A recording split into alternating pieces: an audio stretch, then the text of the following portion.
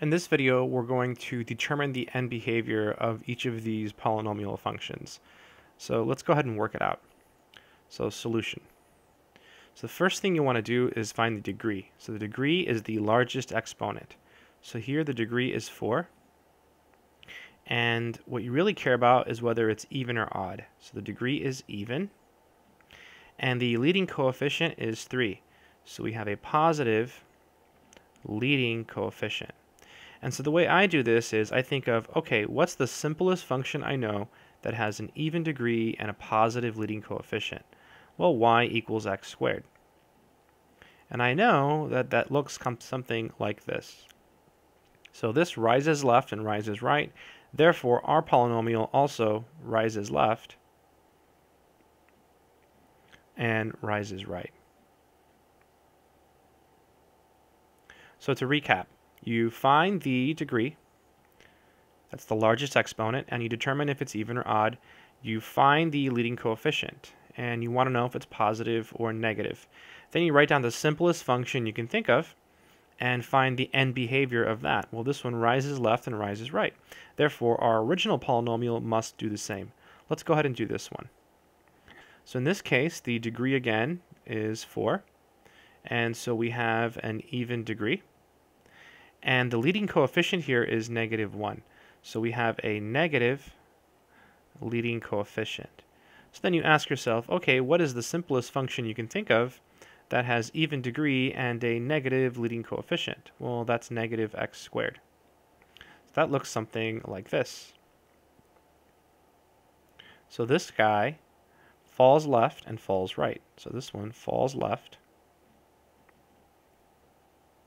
and falls right. Therefore, our original polynomial also falls left and falls right. Let's go ahead and do the next one. So here the degree is 3. So the degree is 3. And 3 is an odd number, so we have a function with odd degree. And we have a leading coefficient of 4. So we have a positive leading coefficient. So then you ask yourself, what is the simplest function you know that has odd degree and positive leading coefficient? Well, there's two that are really easy. You can use y equals x, that looks like this, or you can use y equals x cubed. That looks something like this. And both of these guys fall left and rise right. So the answer in this case is falls left and rises right.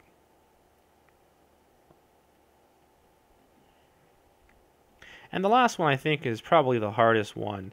So let's go ahead and work it out. So in this case, the degree is 7. So the degree is equal to 7, and so we have odd degree.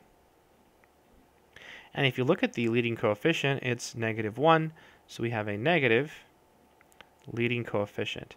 So you ask yourself, what is the simplest function that you know of that has odd degree or negative leading co and negative leading coefficient? Well, negative x that looks like this. Or you can think of negative x cubed, which looks something like this. So in both cases, these rise left and fall right. So this rises left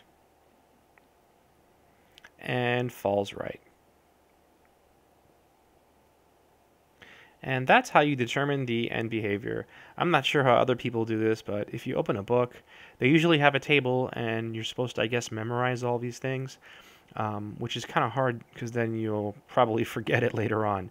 So again, the easiest way I have found is you first find the degree, determine if it's even or odd, and then figure out the leading coefficient and if it's positive or negative, and then think of the simplest function that you know and sketch that. And then the end behavior of your really simple function should be similar to the end behavior of your original function. And I also think it's better to do it this way because then you have all of these really basic functions like x squared and negative x squared and x cubed and negative x cubed. You end up memorizing all of these in the process rather than memorizing some obscure fact. It's better when you have examples memorized and you can use your examples to work out harder examples like the problems we just did. So I hope um, I hope this video uh, helps.